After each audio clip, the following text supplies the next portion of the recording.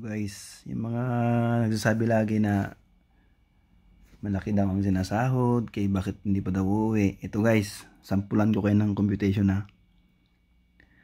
Kung kaya nyo ba yung ginagawa ko, bago nyo ako husgahan kung bakit hindi ako umuwi or kung bakit hinahangad kong makapag kuha ng ano ba another income sa pagpipos pagpupos sa mga Facebook Reels, mga ganun ba? Ito guys, ang aking mga bayarin. Panuorin nyo mabuti. Computation ko lang to base sa alam kong binabayaran nila sa bahay. So, nain natin ang sakyan. Binabayaran kong sakyan guys is ito lang naman oh. Ayan lang naman ang halaga niyan. Tumataginting na 32,422 pesos.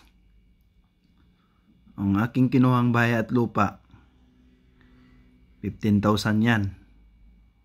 Dalawang ano na yan. Bayarin bahay at lupa. Ang kuryente, 47,000 pesos. Tubig, 500. Internet, 1,500. Allowance ng mga estudyante. Bihira pa nga sila kumain yan pero siyempre may dalawan libo yan sa isang buwan.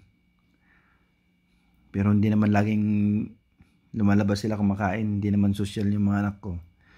So, pambili ng pagkain ng mga alaga, aso, pusa, ibon, nakaka 500 pesos din sila sa isang buwan. Ang gas, dahil lagi nagluluto, yan, 1,000 yan guys. Eh, pang ulam-ulam sa bahay, almusal, tanghalian, hapunan, eh di compute natin 100 per 50 per day. 50-50 kada ano. Eh di 4-5 na yan sa isang buwan. Plus bayaran sa school ng mga bata. Yan oh. 40k 1 year.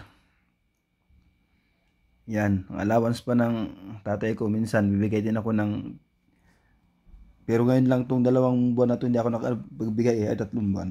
Pero lagi ako nagbibigay niyan every month 3K talaga ang allowance niyan. Tapos mga bayarin sa amilyar. Yan guys. Yan ang ganyan kadami ang aking binabayaran. Ito guys. Ito naman ang binabayaran ko dito sa pangungupahan ko dito sa Korea. Bahay ko is 400,000 won.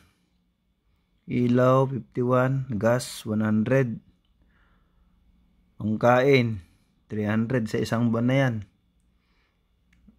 Talagang sagad na yan. Sabon, bigas, shampoo, Ricardo kape, 150 k won. Pang-load ng data, may matagal na akong dinaglulod, 35. Yan. Kaya ang araw ko, magkano lang? 105 lang ang ano ko, ang per, uh, per day. Wala, negative guys, oh. Yan. Minsan 16 days lang ang pasok sa isang buwan. Pero kung mabuo mo yung 20 days, ayan, 2.1 lang siya. So kung i-calculate mo yan dyan, hindi pa kasali ang bayaran sa estudyante, 40 mil sa isang taon, 65k na ang lumalabas sa isang buwan.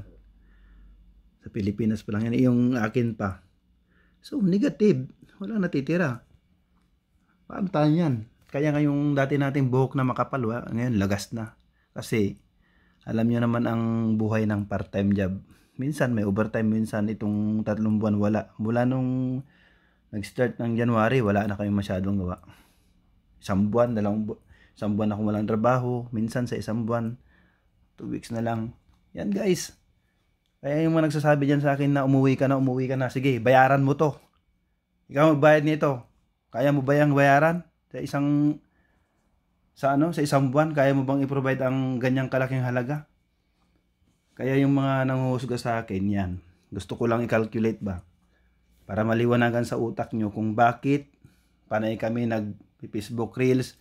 Siyempre gusto namin mga ka income kahit kumita man lang dyan sana ng 10,000 o kung meron man. O kaya 15,000 malaking bagay na yon eh wala sinusubok-subukan lang natin. Kaya sana wag tayong manghusga guys. Ito. Ito ang calculation ko ba. Yan. Kaya, tinitiis ko lang. Kasi, sabi nga nila, wala daw akong napundar. Ang napundar ko puro hangin.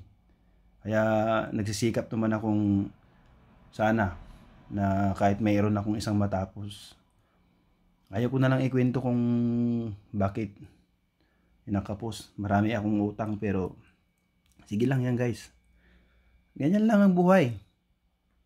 Kaya yung mga nagano dyan, nangungutya, hindi na nga ako gumagala eh. Yan, pagkain lang ang pinagkagastusan ko na, tipid pa minsan. Yan, sana guys, yung mga mapangmusga dyan na mga tao, to, panuorin nyo to para alam nyo yung mga panghuhusga nyo sa akin. Pap, uwi ako ng Pilipinas. Magkano ba ang, ano, ang binabayaran nyo sa Pilipinas? Eh, ang hirap ng ano dyan. Ang isang araw, magkano lang. Yan guys.